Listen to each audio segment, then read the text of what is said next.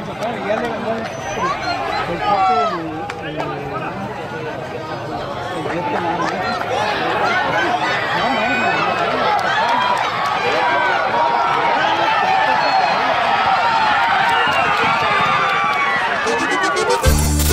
Saludos a López, Francisco y Juan Manuel Domínguez.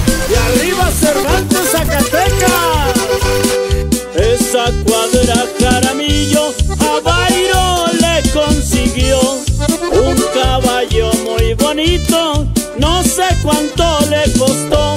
Jugó su primer carrera y por cierto la ganó. Estado de California, ahí su fama empezó. Lo llevaron a Las Vegas y a una yegua se enfrentó de la cuadra del diamante y también la boqueteó. Pa' California y la suerte le cambió. Hubo un descuido el caballo, del cuello se lastimó. Dijeron veterinarios, hay que dormir al caballo.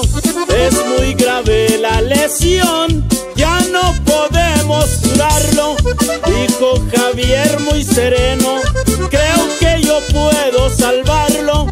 El Vegas Boy está vivo, gracias a este quiropráctico. En la campeón de campeones, esto es lo que sucedió.